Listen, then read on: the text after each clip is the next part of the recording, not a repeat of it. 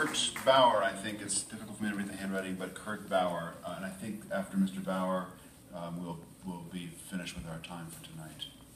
Number one, I'm gonna do a bunch of dirty work for you guys, and it's- I still believe in you, Allison, by the way, even though that dog and pony show you played with Barbara Boxer when she requested documents and threw her out of your office when you were head of the NRC covering up Fukushima.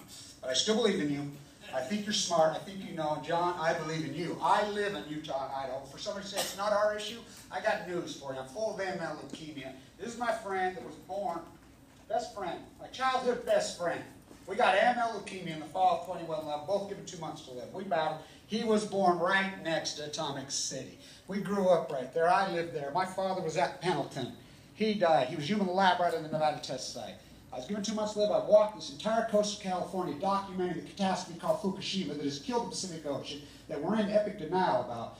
But Here's some breaking news that you don't. Number one, the dry cask at Fukushima did not work, and I have the FOIA documents and video proof that the dry cask at Areva, the bankrupt rats that they are, completely failed.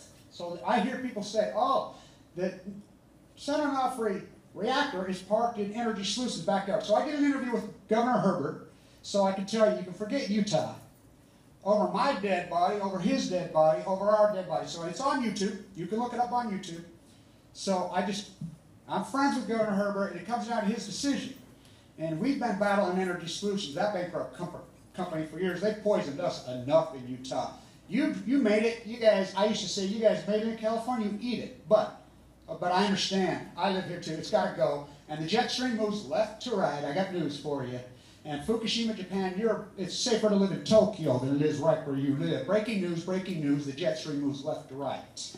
And so, I'm a fool to do your dirty work. Secondly, WIPP blew up. WIPP blew up on Valentine's Day. I reported, it. I was a professor at the School of Business, at the Water School of Business, who built WIPP. I reported it from there on my YouTube site. 100,000 views.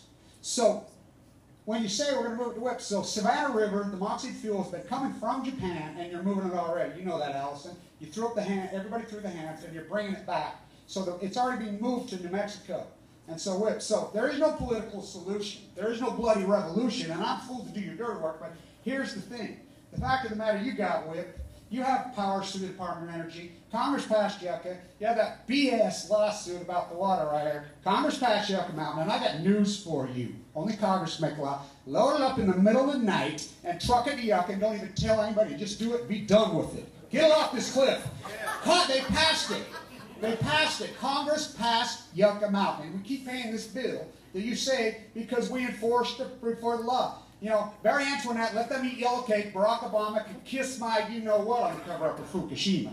You know, I'm tired of it all. Load it up in the middle of the night, truck it to Yucca, and stick it in a hole and be done with it. Over, hasta la vista. Okay, thank you very much for your comment. Final uh, comment from Kurt Bauer.